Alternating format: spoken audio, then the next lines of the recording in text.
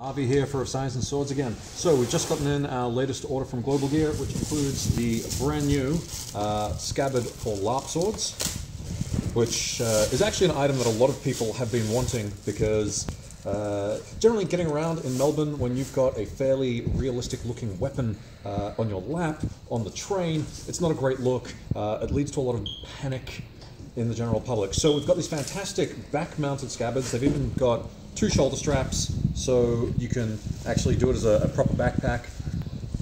Let's just grab one of their random swords. So we've got nice Battle Legends Viking here.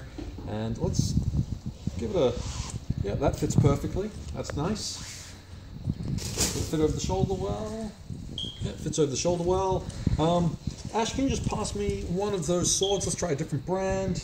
Cool, so we got the Calimacil Ninja.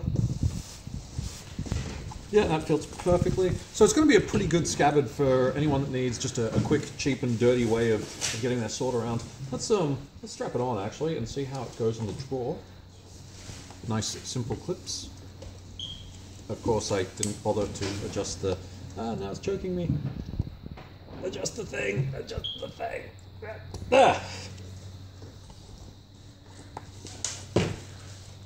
Nice, simple, adjustable strap there. Right, let's try it now in less choking mode.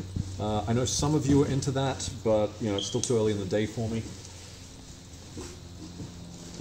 Ah, it's much better. Okay, so like all traditional back scabbards, drawing from it is actually an impossibility.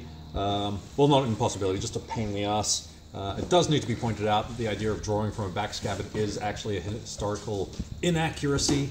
Uh, they would usually draw from back frog or have some sort of quick release mechanism within the scabbard to make it click open.